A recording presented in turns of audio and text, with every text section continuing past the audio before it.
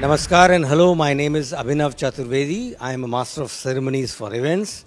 And this initiative uh, by EEMA, which is the Spotlight Awards, is a very interesting platform, very unique platform to not only showcase what you have done in terms of achievement, in terms of your work, but also to let people know where you actually uh, stand right there in the spotlight because this is the platform which assures you will take you to places in terms of uh, without a visiting card.